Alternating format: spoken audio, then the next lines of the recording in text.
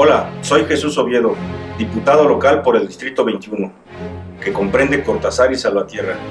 Estaré en el programa de Uno por Uno de Cablecor, no te lo pierdas.